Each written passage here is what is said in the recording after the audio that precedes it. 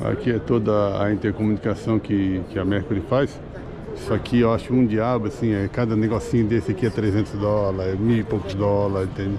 Eles podiam facilitar isso aqui, tudo, a, o motor ele consegue é, sair o sinal em, no protocolo CAN, né?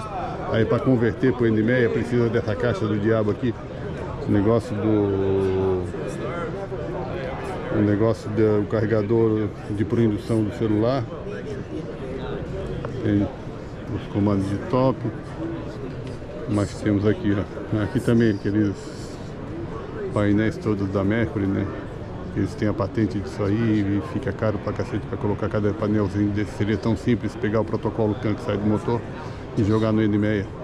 Toda a rede podia usar as informações do motor. Eu, no meu barco eu tenho esse problema. Botei uma caixinha dessa aqui.